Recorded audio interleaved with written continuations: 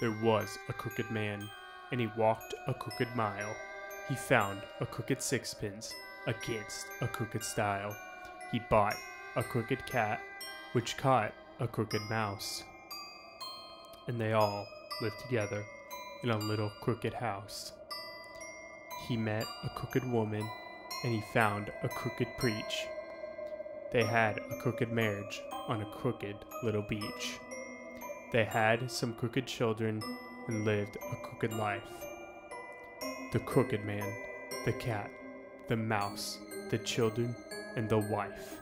They were happy for a number of crookedly long years, lived a life of crooked happiness, no worries and no fear.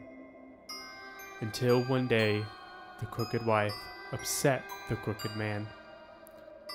He yelled a crooked yell, and then he hit her and he ran. The crooked man came again at the stroke of twelve. That was when their crooked life became a living hell. There was a crooked man, and he walked a crooked mile. And when he killed his wife and kids, he smiled a crooked smile.